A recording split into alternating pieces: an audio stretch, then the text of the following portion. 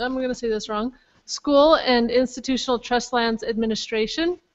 And she will be talking about her agency's experience of going from transitioning from paper to electronic records. She has been employed with the State of Utah School and Institutional Trust Lands Administration in the Oil and Gas Division for 14 years. Her duties include land research exchanges, GIS mapping, and records analyst. And then following Lisa will be Kendra Yates from the Utah State Archives. The title of her presentation is Transitioning to a Paperless Office, Popular Conceptions, Myths or Otherwise. Um, Kendra is the Records Analyst Section Manager at the Utah State Archives and loves working with records officers and other government officials in our state. She has a Bachelor's of Arts in History from the University of Utah and a Master's of Library Science. So please join me in welcoming Lisa. Thank you. Okay. Thank you. Hello, everyone. Um, I just wanted to let you know I don't have any sound effects, but we do have maps at SITLA. um, so the School Institutional Trust Lands Agency is known as SITLA. It's a mouthful of words, so I'm just going to go by SITLA if I talk about our agency and how we become, we're trying to get into a paperless world. Um, SITLA's previous record keeping was a little mundane we had a large public public room that was filled with documents. Um, we had uh, to update plat books, and these plat books were really huge. I'm going to give one out here. So this is an example of one of the plat pages that we had to update. And the pink squares, the filled-in uh, blocks, those were actually painted. We had to take a paintbrush out and some paint, and we would paint the squares as we acquired the lands. So it was mundane. And then as we sold lands or acquired lands, you know, we wrote them down into little notes on here. So it was really quite a tedious job that we had to overcome.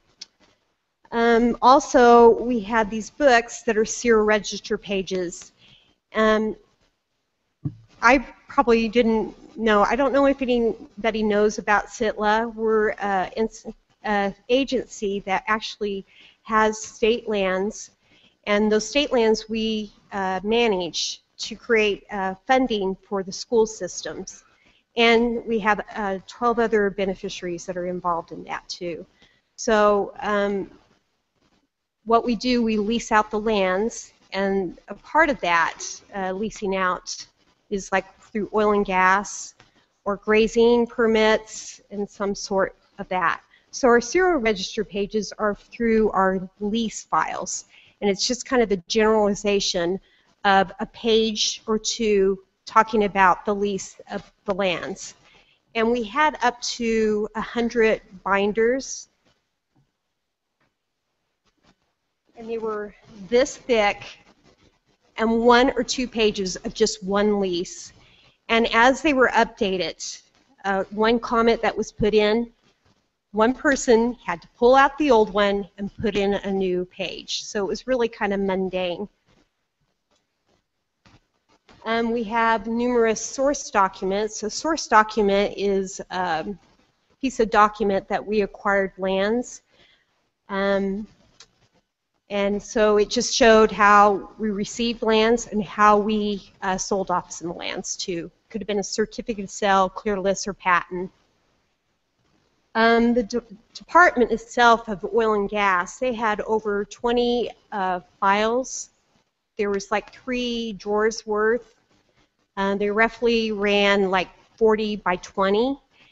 And um, now, and so it was really cumbersome to have that whole lease files that would uh, clutter the whole area, and we had less uh, room to fit in. Uh, the present time, our record uh, keeping, we have a smaller public room. We actually have like three or four offices that we created because we instead of our our painted uh, plats that we have to follow.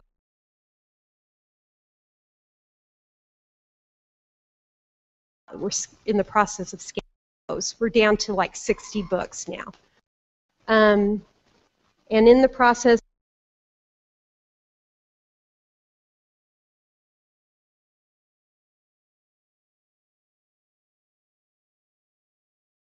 haven't touched the land exchanges yet because some of those land exchanges they can be like three inches thick and there's like six or seven uh, files folders for those um, the oil and gas department itself has uh, decreased their filing cabinets down to five and scanned over 3,000 3, over 3,000 leases and that includes the active and the inactive and roughly we have about 240 uh, active leases to be scanned.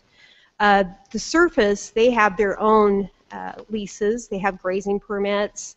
Um, they have areas that they uh, do windmill. Um, they have also, help me out, Diane. Tell me, I'm, I'm just blank because I don't work in the surface department, but they have way more uh, commodities areas that they, they deal with. Um, so what are the two keys that why we're going digital with our records? Well, it benefits the public and then it also benefits SITLA. Uh, how it benefits the pub public, we provide a self-service uh, scanned records through our SITLA website. And I'll show you that a little bit later. And then we also reduce the time uh, for uh, people, the public, to come and review the files. We have a lot of oil and gas companies that are from other states, uh, down in Texas, Colorado, um, some even further than that. And they really appreciate those scanned files. I worked in the private sector before I went to the state of Utah, and I loved when I could get acquire a lease um, from a digital, but it, it was a little bit less known back then now we have that capability and it's just amazing that you know these people are so excited and said you mean you can send that to me today so um, so it's quick access to the records the benefits for SITLA it saves the SITLA time and money um, by pulling um, in pulling the files and copying them people would come in and we have this grocery cart in our office, and one person could fill up the whole grocery cart and review those all day long. And they were not allowed in, a, in our filing uh, area, so we would have to pull those files, and then later on we would have to make those copies for them. Some of these uh, files, one lease alone for an oil and gas, there's four uh, files. It's roughly like two inches uh, thick and so each file have like has like a over 500 copies in it. So it was very time consuming for our employees. It eliminates the mishandling of files. At one time we let the public uh, copy off these leases, but they were putting them out of order. and also it, a lot of the documents were being ripped because they were so fragile. I mean, some of these uh, leases were back from um, the 1960s.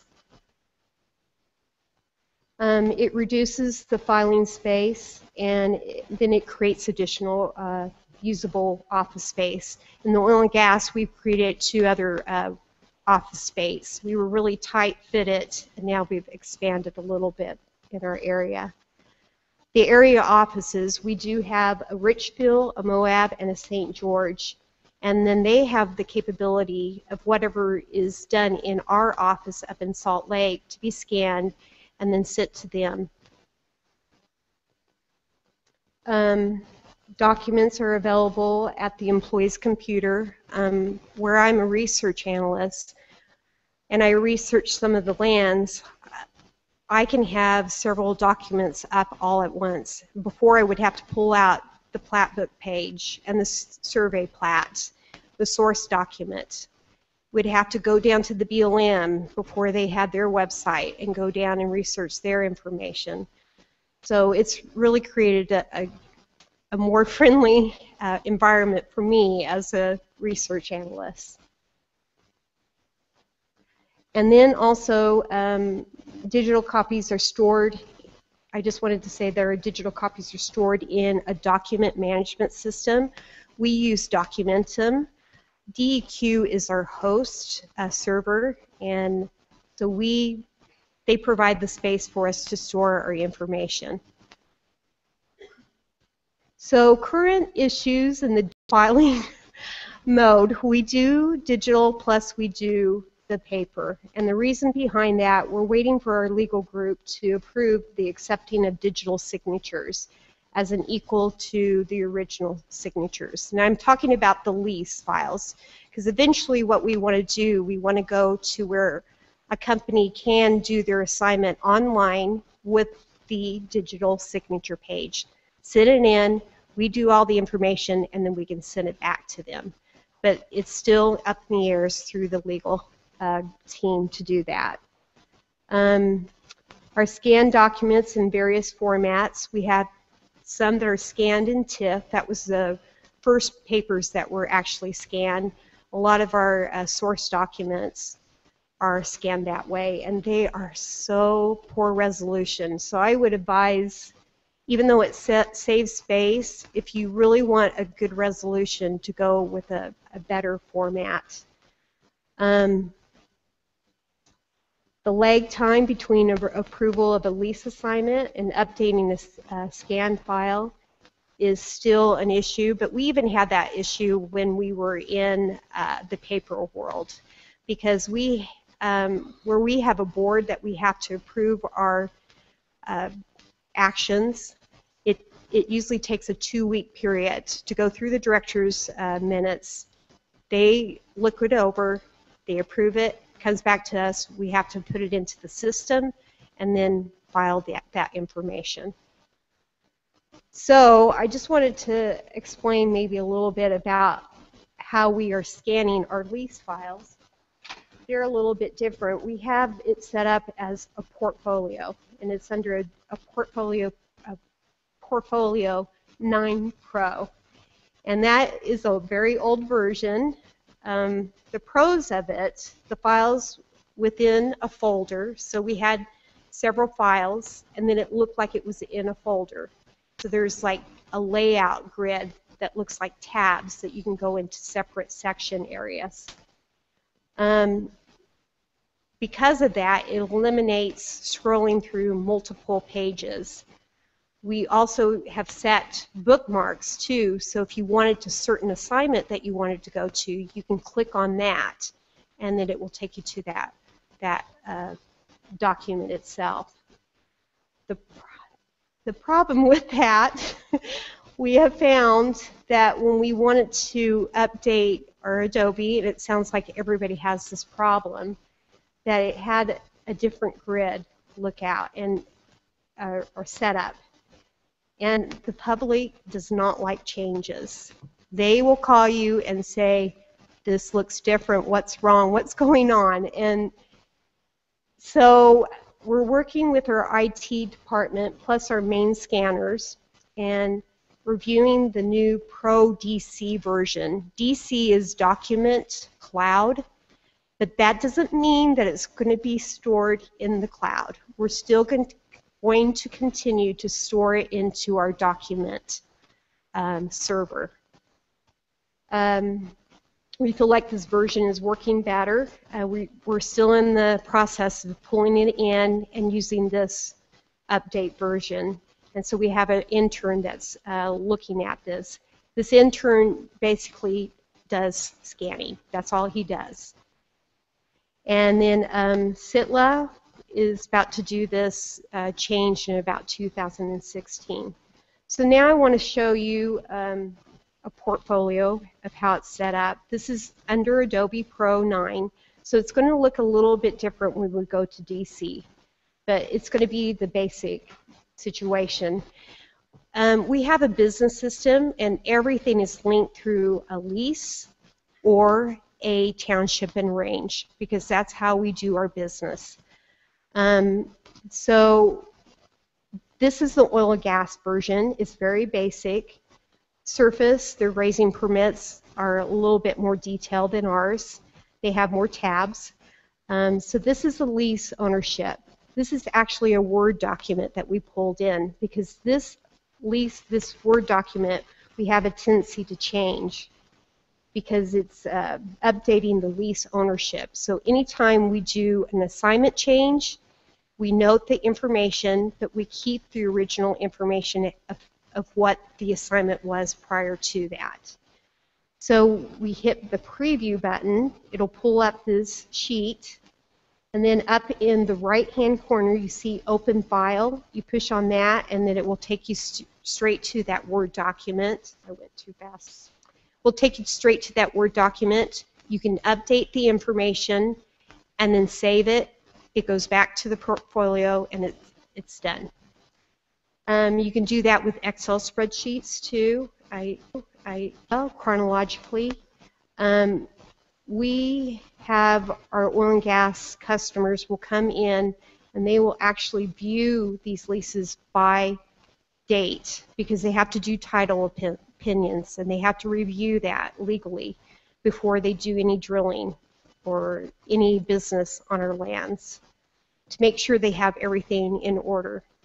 Now if you look in just in the middle section, this is where what I was talking about, the bookmarks. So right now it's scrolled to the assignment change that was done back in 2013. If I tab on the next bookmark, it will take me to the application documents. This can go on forever with our bigger files, but I just thought I would show you a basic one. And then the last one is the lease assignment or amendment or assignment, excuse me, or contract. This is actually under the lease file too, but sometimes people just want to go straight to the lease file uh, contract, so we just set that up for them too. So this is our website. Um, to get to the land and lease records, you would click on to the middle uh, picture that's in the lower portion of the screen. It'll take you to here. You can go to the ownership module, which is the land. The uh, title plats are uh, tied to that, historical ones. But I'm going to show you the contract module. So it'll take you to this area here. You type in the lease that you're referring to if you wanted to see uh, a document or any information that it has tied to the business system.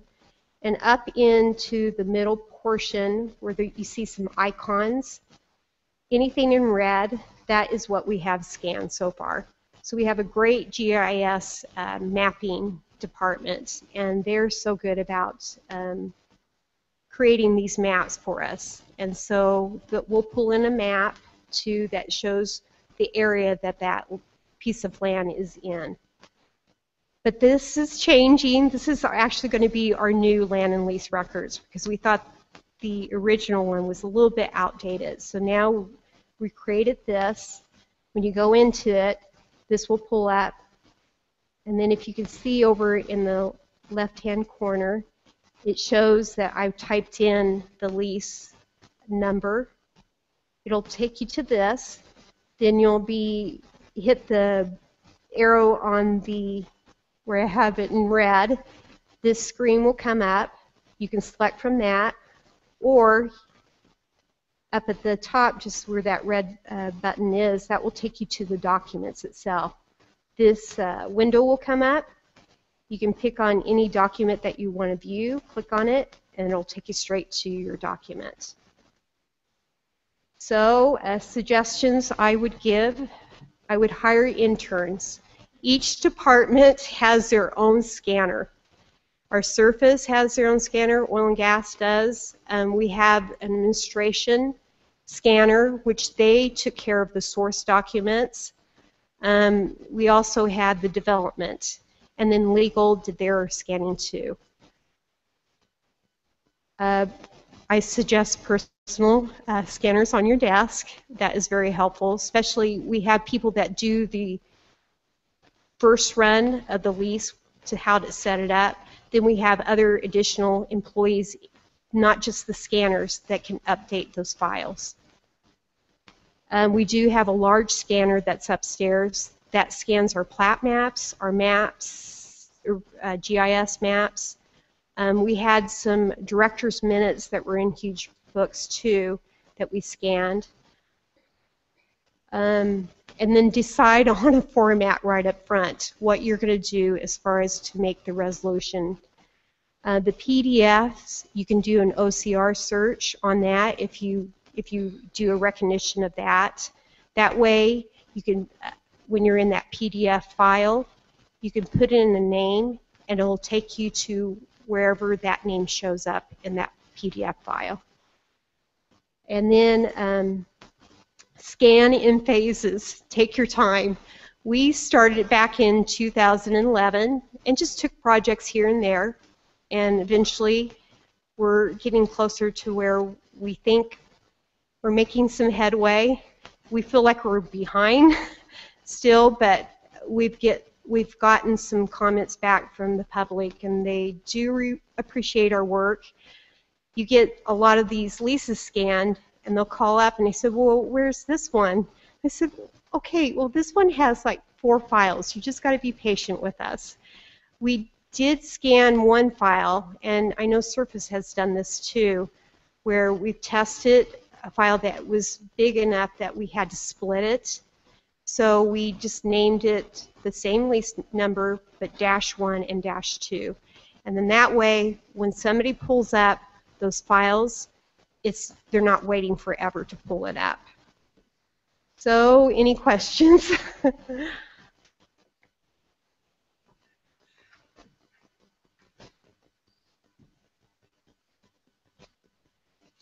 no.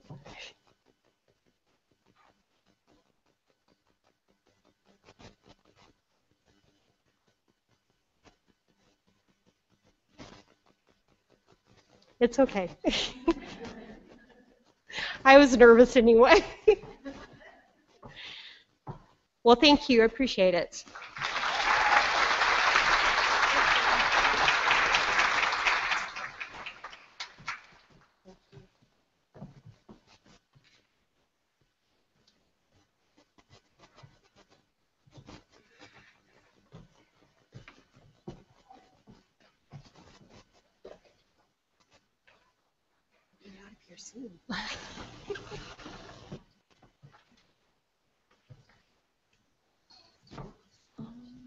Where did you put yours?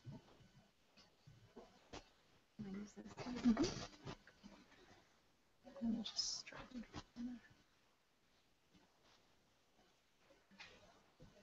Um, what's it? I just moved it. I'm sorry. Which one is it? What? Which one is yours? This one? Yeah. Oh, no, that's That's hers. Do you need to do anything? Yeah, I do.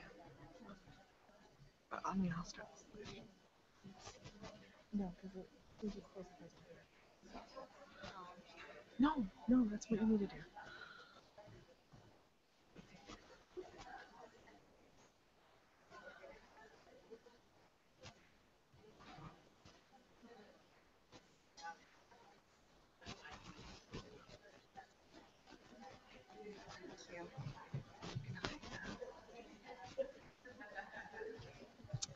Okay, we'll go ahead and get started.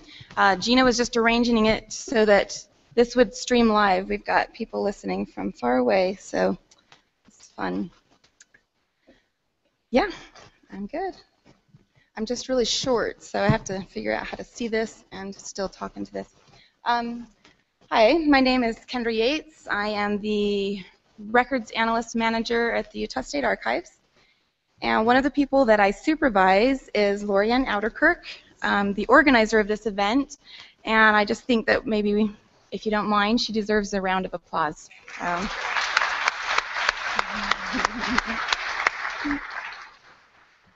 uh, thank you, Lorianne, uh, for your hard work putting this together. I think the only mistake that she may have made is putting me on the program. um, did you know fear of public speaking ranks higher than the fear of death? It's true. Fear of public speaking is people's number one, and fear of death is number two. Um, I actually am the mother of three teenagers, so I have fears that are much worse than either of those things. Um, but it's still hard, you know, to calm the nerves. Anyway, I'm really, I'm grateful you're here, and I'm grateful to be here.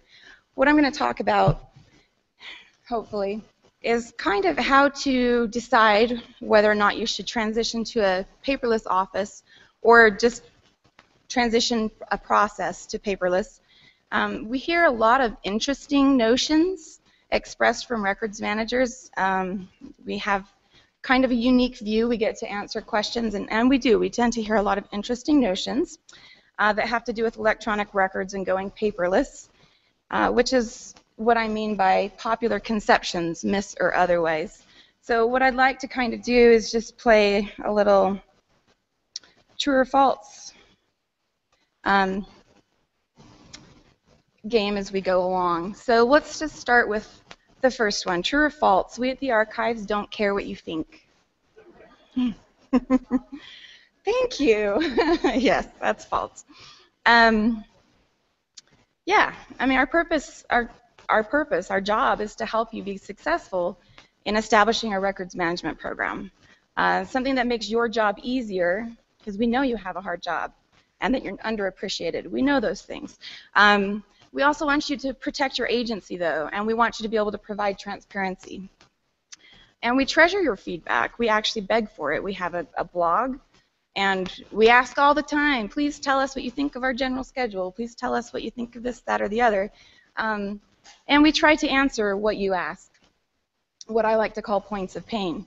We listen to the questions that are coming in. So that's kind of the reason I decided to address this as a true or false, because some of the things that come in, we go, wow, these are, um, some of them are really off base.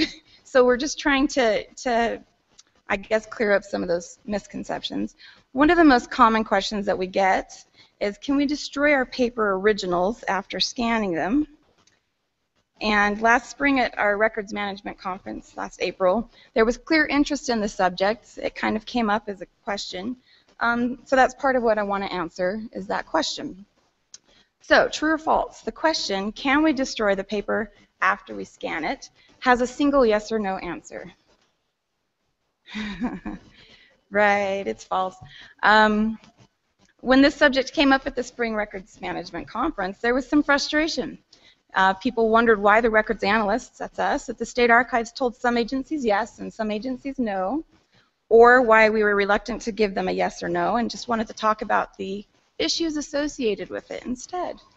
Um, and that's because there is no yes or single yes or no answer to that question. There are a lot of factors to consider, um, and a decision needs to actually be made for each group of records or record series that you're dealing with and so I actually kind of envisioned making this really fun, well, you could call it a selectomatic, but like a choose your own adventure tool, and you guys could answer questions and it would lead you one way or another, and eventually you'd get a yes or a no or a call, you know, your records analyst, because there's no definitive answer. Um, but the flow chart of all of that would be really horrific. Um, this is a simple whether, you know, this is an internal one that, that my colleague Renee Wilson created. Um, she made a selectomatic actually for fun. Um, just deciding with a series-specific retention schedule, whether like a record series, whether or not to update it or how to go about doing that. And that's just a really simple process. What we're talking about would be much, much more complicated. And frankly, it is more profitable for you and the agencies to learn about the issues that need to be considered like teaching you to fish instead of handing you a fish. So instead, what I hope to provide is guidance, uh, a tour through a maze, some of the factors that need to be considered as you make your decision. So, some factors that you need to consider. Whether or not to destroy paper after you scan it. These are the things you need to think about. Whether or not, or I'm sorry, but how long the records need to be kept, so what their retention schedule is. Um, the importance of the records after doing a risk assessment. How about requirements for managing electronic records? Liability to your agency if you don't have the record when you need it. Standards used for imaging the records. Quality control process, file format, media and storage, software characteristics, capability, ability to dispose of electronic records. Migration plan, cost of maintenance. It can get a little overwhelming. So this is my palate cleanser for your brains. Forget that I showed you that list. We're just going to start with one thing at a time. So true or false? We are not creating any records because they are all being done electronically.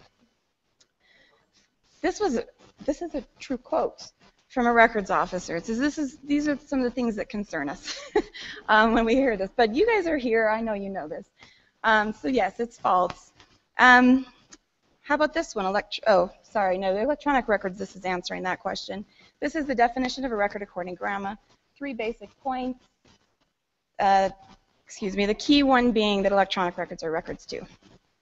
So true or false? Retention schedules mandate the amount of time that records must be maintained and authorize destruction or transfer of the records once that mandated time period has ended. True. Yep. Uh, this is what they look like. If you, I outlined in red for you if the records you're dealing with include that, and you notice that open record meaning that's the stuff that open records. Sorry open meeting minutes and public materials, that includes the agenda and things handed out at the meetings, all of that's permanent. But if you record the meeting, that only has to be kept three years after they've been approved, and then you can destroy them. And that's, of course, if the official written minutes have been, uh, minutes have been written down. So that's basically what they look like. So true or false? Retention schedules only apply to paper records. You guys know too much. Um, yes, there you go. Uniform Transaction Electronic Transaction Act says right there, you have to establish retention schedules for uh, electronic records. So here, this kind of answers a question that we had earlier, but only the record copy is subject to the retention schedule. So this is key to know. Um, you can make access, reference, and backup copies that can be destroyed sooner.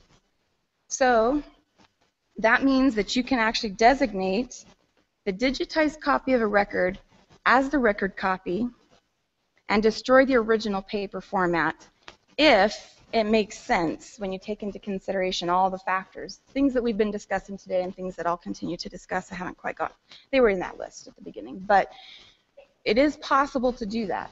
There's just a big if uh, connected. So retention schedules are suggestions. This is a true quote as well. Suggestions of how long you have to keep something, but they are minimums. You can keep records as long as you want. You don't have to destroy them. That is false. It's false. Um, the law says that you shall maintain and destroy records in accordance with those retention schedules. This, so the reason I bring this up it's important to know this when you're dealing with electronic records in a database, right? That's that's a big challenge when you're dealing with electronic records in a database. So disposition options are destroy or never destroy, which we also tend to call permanent. Um, and that usually means transfer the record copy to the state archives. So disposition begins when the retention period has expired, and it can be delayed under those circumstances there. Um, litigation holds if there's a pending GRAMA request, that sort of thing, or they're being used in an audit. And then once those things are resolved, the disposition can occur.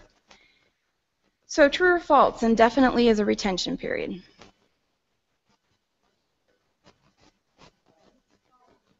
It's false. But we hear that a lot when we ask specifically, how long are you going to keep the records in your database? Right? We have a lot of people say, well, indefinitely. Indefinite, by definition, is undefined. We go to a lot of trouble to define retentions, retention periods. We appraise the records, we determine their administrative, fiscal, legal, and historical value. We present them before the State Records Committee in hearings and get their approval of that retention. All of that work we do just so that we can define the retention period. So, yeah it just doesn't work and definitely doesn't work. Uh, but it's tempting. So scan into the database is not an appropriate disposition, true or false? True. This is a quote too. Someone was trying to use that as a, as a disposition. But like we said, it's destroy or never destroy. Records in a database must still be maintained, right? They still have to be uh, managed according to retention schedules. So, core requirements for managing electronic records. Uh, there are four core requirements. These are internationally and nationally accepted in the records management field. You can find these in a couple of documents that we produce. Um, one is called the State Archives Electronic Records Man- or Electronic Record Management Business Case. This is the other one. It's the Electronic Records Management and Migration. It's a guideline that we've put out. Um, so basically, accessible, right? They have to be available for the entire retention period. Authentic, they have to be what they say they are. Nothing can have been changed. Uh, they need to be reliable. We've talked about a lot of these things today. Um, the data has to be retrievable and usable at all times. So that's the whole migration thing. Uh, and they have to be secured. Those that have rights to see those need to have the ability to see those, and those that don't need to not. Um, the systems must be trustworthy. So that's hardware, software, and processes that manage the records must be reasonably secure from misuse and intrusion.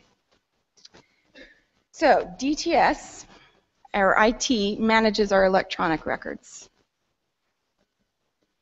This one came up just this week. Yeah, that's correct. It's false. That's not true. DTS or IT does not manage records. They manage systems. DTS does not maintain records according to retention schedules. That is your job. So you need to know your system. You need to know how records will be maintained through the retention period. So some of these questions, I'm just going to throw a few at you, are in this document again, and are a really good starting place for a discussion with your IT uh, department. But uh, how will we protect the unauthorized access and, and uh, provide authorized access? How will records be deleted from the system? when their retention period has ended. How is your database going to make that happen or your system going to make that happen? Because you must prevent deletion from impacting other records that should be retained. This is a really hard thing to do in a relational database where the tables are interrelated.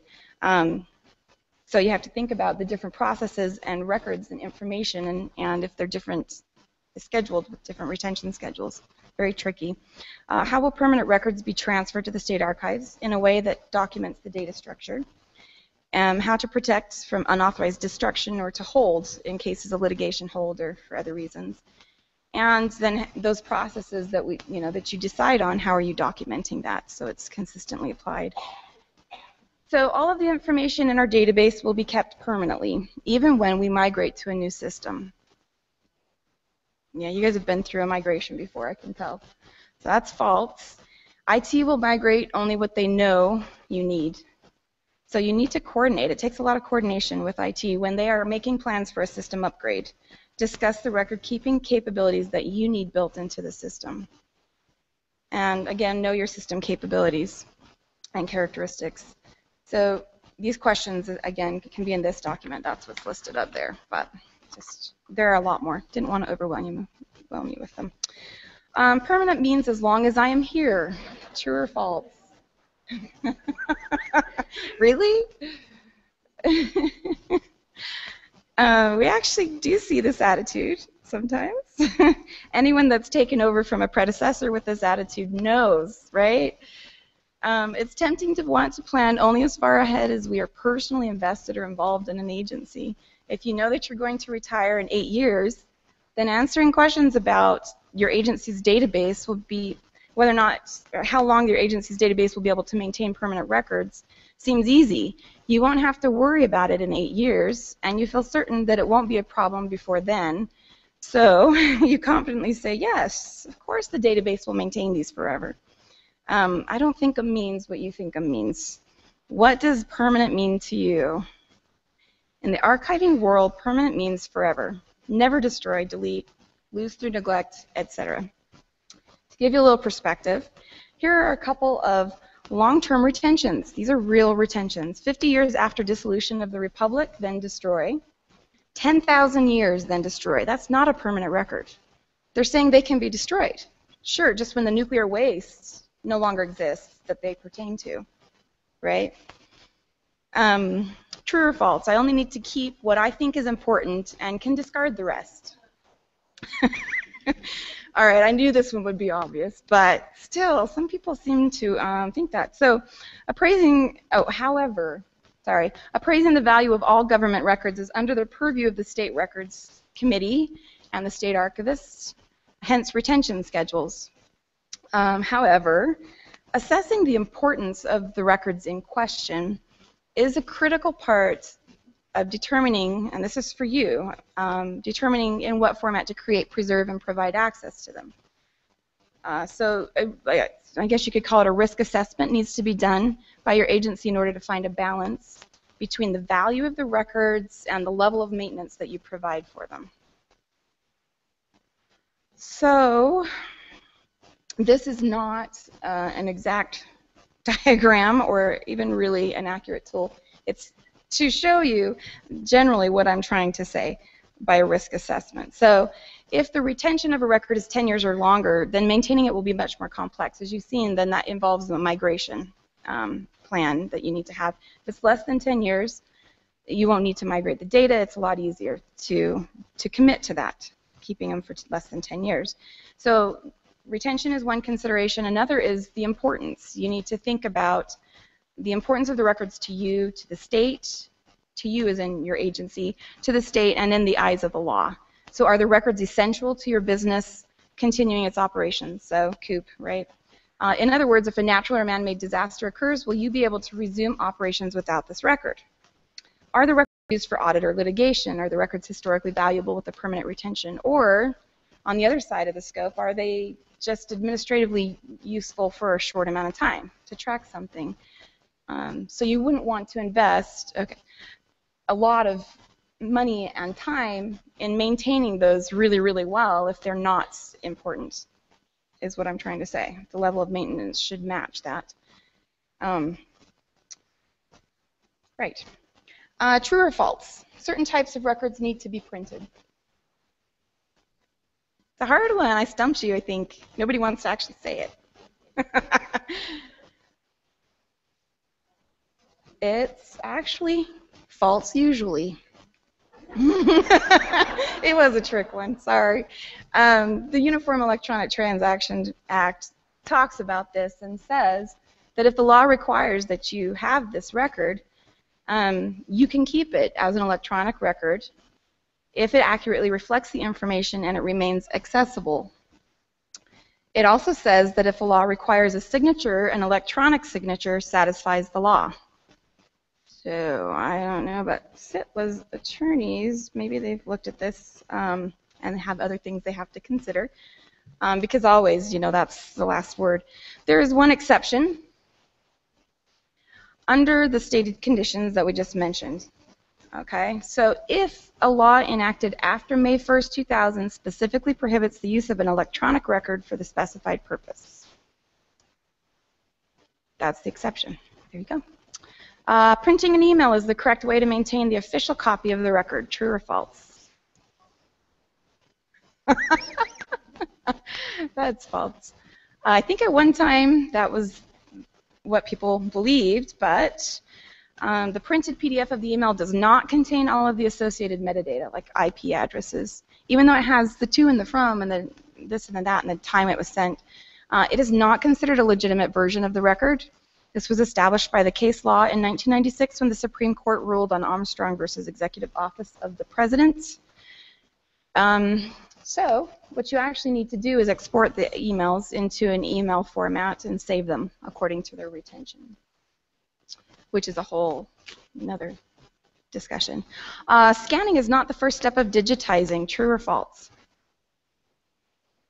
Yeah, that one's true planning, not scanning, is the first step of digitizing. And this is what we've been talking about today, a lot of these considerations. I do want to clear up just a couple things. For instance, resolution and file format are two separate things to consider. Um, resolution, if this is something that needs to be kept longer than 10 years, if it needs to be archival especially, you need to use 300 to 400 DPI. That's why your your images aren't going to look good is if you don't use the appropriate resolution. 8-bit grayscale and 40, 24 if you have something fancy that really needs to be in color. Um, file formats is a different issue, and TIFF can be both compressed and uncompressed. And for archival purposes or really migration purposes, if you have to migrate them at any point, you need uncompressed um, TIFFs. Uh, PDA, PDA, PF, PDF, PDFA Oh, it's acronyms. PDFs can become PDFAs, and when they do, the A stands for archival.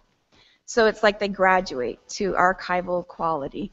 Um, really, it just freezes things so that in time and place so that they will remain static after um, that.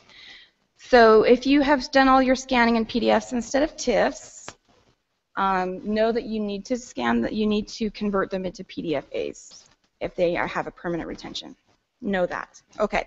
Um, audio files should be in WAV rather than MP3s or 4s.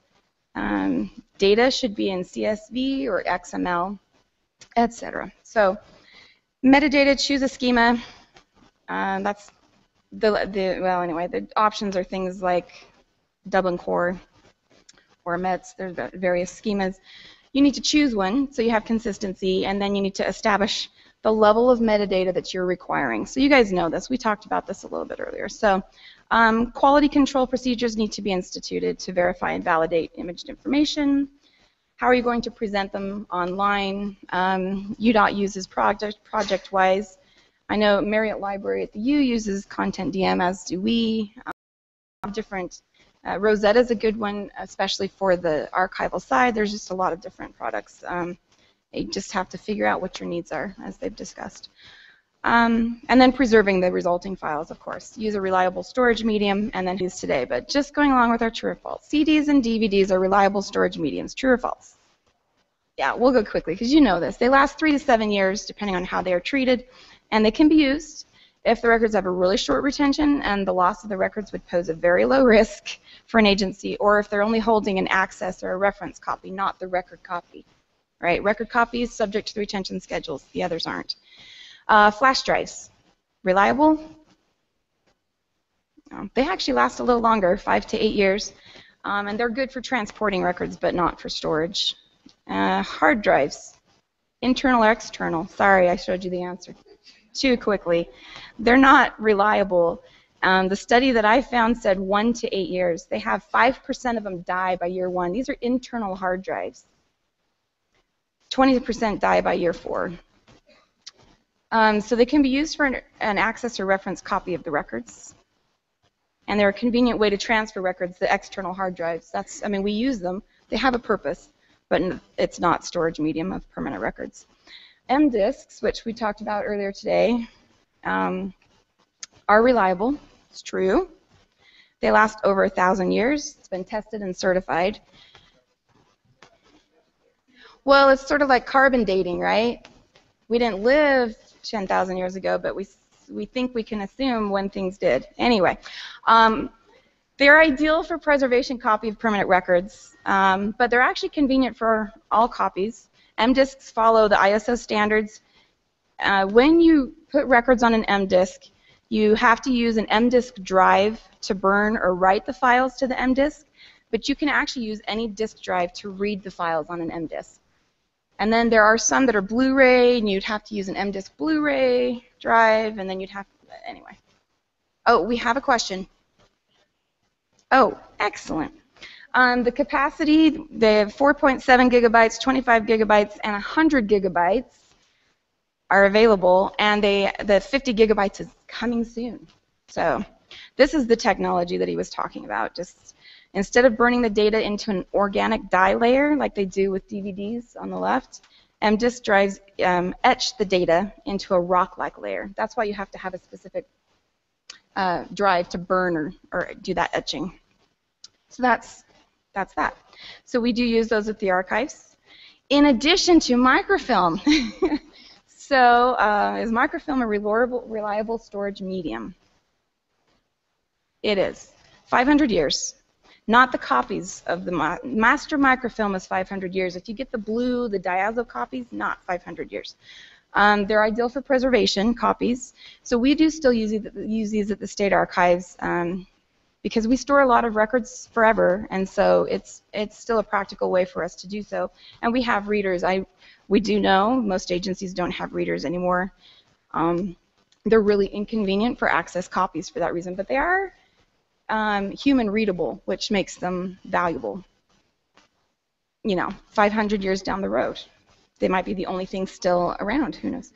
Um, and digital files or paper can be converted to microfilm, and microfilm can be converted to digital files. Uh, we have a micrographics department at the state archives that does that for a very reasonable cost. So it's not completely obsolete, but we know you're not really making them in your office anymore. So uh, a network server is a reliable storage medium, true or false?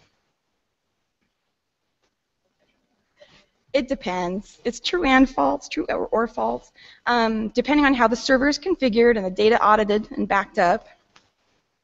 So I don't really want to get into the SAN versus NAS and the HDD versus SSD and the disk drive versus tape drive, etc. I don't.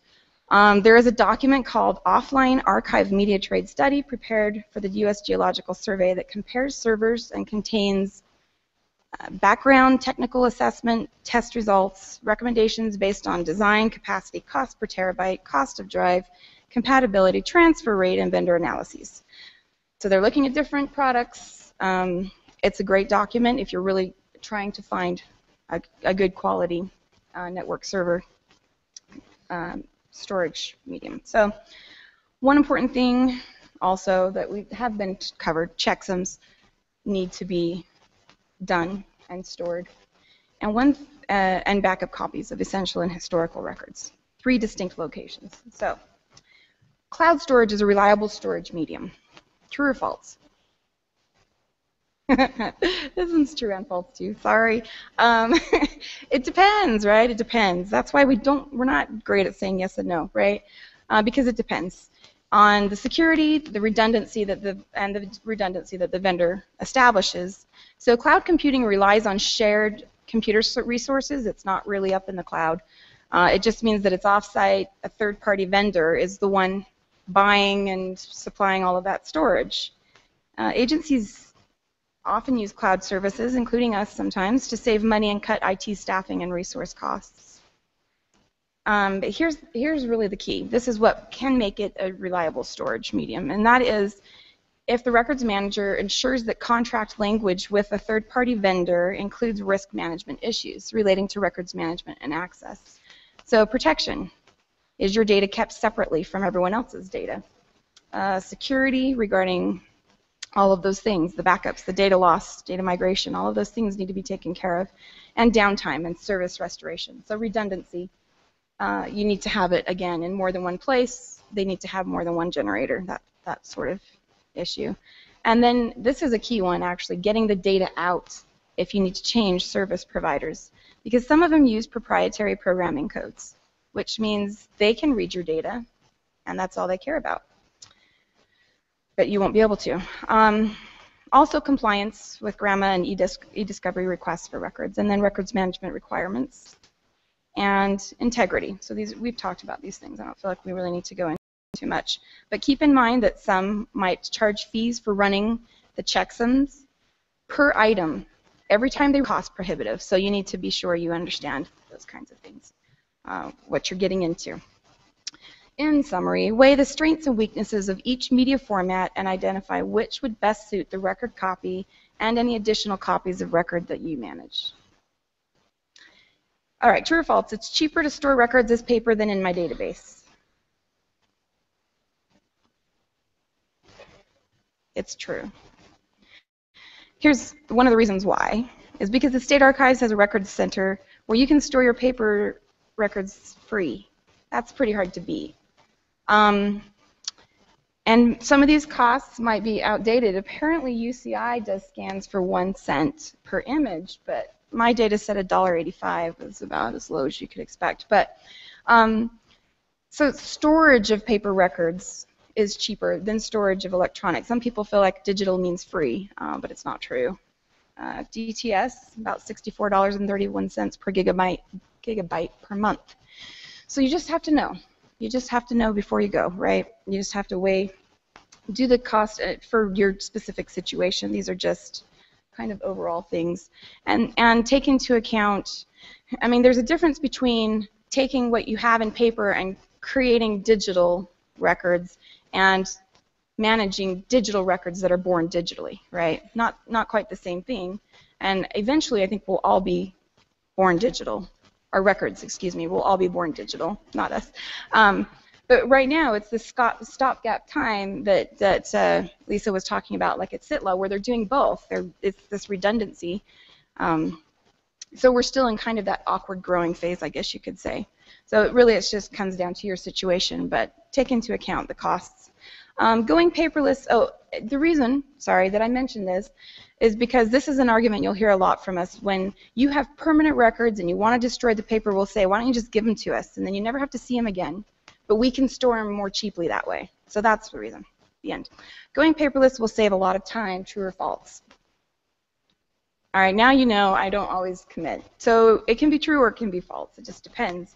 Um, scanning in the documents, putting them into folders on a, on a drive, that's not really going to save you money over a decent uh, paper-based filing system.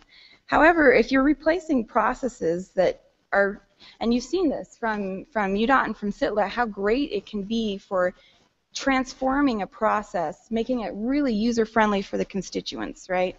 So it can be a wonderful, a wonderful thing. Um, you need organization for the data. You need metadata. You need to be able to, key, hopefully, keyword search through the documents, which you can get either if they're text embedded or if you run um, OCR, optical character recognition software, which Acrobat, Acrobat Adobe Pro 10 has, um, Adobe Acrobat Pro 10, and others, other vendors. So there are ways to make it really, really convenient. And then also digitizing all of the handshakes, the, the annotations, the signatures, the email, all of those things can help. And then having backup, of course, that's reliable in case things go bye-bye really all at once. So going paperless is all or nothing, true or false? Right, that's false. Uh, you want to pick the low-hanging fruits. So Identify the places where you will get the best return on your investment and start there. So that's kind of what they were talking about. These processes that have really benefited them so much is where they invested a lot of time and money. Um, so we've got a couple examples there, but you heard a couple examples that were better. This one's true. Having a chicken, this is my favorite one. Having a chicken farm shred sensitive records is an appropriate destruction plan. True or false? No, it's false. Sorry. Um, this happened just last month, September 23rd, 2015. I know, I'm not making this up. So this is a Canadian long-term care company, so we're talking like a rest home, is in hot water over its plan to let a chicken farm shred sensitive health documents. A chicken farm, this is a quote, should not be used to dispose of sensitive health documents, said Ron Kruzeniski. It's crazy that anyone had to actually say this, right? Uh, this is Saskatchewan's Privacy and Information Commissioner. As he announced, he was canceling the agreement, according to media sources. The contract put the burden of maintaining the security and confidentiality of the records on the chicken farm, but did not require that chicken farm specify a plan of how that would happen. Some of the residents' health cards ended up in a recycling bin, which is how it came out. So uh, there you go. You just never know what you're going to see. Um, appropriate destruction of records. Just just in case you were wondering if the chicken farm was a good idea, shredding or burning by a reputable company so information cannot be pieced back together or recovered. If your uh, records are stored in the State Records Center, by the way, when the retention is met, the records will be destroyed at no cost to you uh, after you have signed, signed excuse me, a destruction notice giving permission because they still are in your custody while they're there. Um, all copies of a record should be destroyed with the record copy um, which some people don't like that one either. But if you think about it, if you destroy the record copy, but you still have one or two other copies, what are they now? Yes, you guys, you get it. yes, then they're the record copy. Uh, so yes, everything has to go when the retention says. So, um, and then of course document the disposal of records in a destruction log, because then discovery requests, GRAMA requests, oh, it's so nice to be able to say, I don't have that record and here's why. Right? Whew, best, best GRAMA res responses ever. Yeah, that one's easy. Uh, true. We're a stakeholder, so we want to know, right? That's what they were talking about earlier. Please let your records analyst know how you are using electronic records and what processes, and if you are making significant changes, or even if you are just considering it and have questions. Let us know. Um, we also will come to your agency and provide training if you would prefer. We're always happy to do that, even one-on-one -on -one training. Uh, every governmental agency has a records analyst, just in case you were wondering. Um, Ray Gifford is our new records analyst, and she handles state agencies with a few exceptions. Um, and she handles education. Lorianne Ouderkirk is our records analyst for local agencies, that's counties, municipalities, special districts. She also handles all law enforcement, including highway patrol, and the Department of Health, just because they are special. And I handle elect elected state agencies, courts, legislature, and Rebecca Shaw handles our general retention schedules. So, in conclusion, can we destroy the paper original of a record after scanning? Briefly, the answer is yes, but. And the longer the retention period of that record is, the louder that but gets because of the difficulties that come with preserving electronic records. It is perfectly acceptable to keep a scanned document in uh, just it just needs to be designated as the record's cop, record copy and retained and accessible for the full retention period, which is not as easy as it sounds.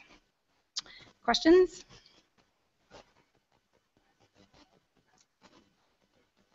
Yes, the gentleman on the right. First of all, thank you. I have two questions. One is, how do you, if you contract with a, a cloud storage service provider, uh, and you go through all the details of the contract, how do you efficiently ensure that they're compliant with that? Since by definition, they're out of sight. Is that why they're called cloud? I can never figure that one out. Um, yeah, you would want to make sure that the contract includes any, that's the auditing that they're talking about. Um, you would want to be in touch with them and, and have verbiage in the, the contract that makes sure that they're accountable to you. That might even So- allow you to do a site visit, for example, Yeah, you know, feasible. uh, that might be possible. It would depend on them and what their rules are. Okay. Um, they have high security. We actually uh, got to go visit one recently, but we had to leave our driver's license at the check-in desk. So, That's pretty secure. That's good. yeah. Uh, uh, the second question, uh, I work at the Office of Education. We have an enormous data warehouse. We do uh, a, a fraction of the reports we produce out of that are pre-specified annual sorts of things. Okay. The, the mo- for the most part, we do a lot of reports uh, based on ad hoc requests, many of them, most of them from outside of the agency. Uh, we have a process for handling those and so on.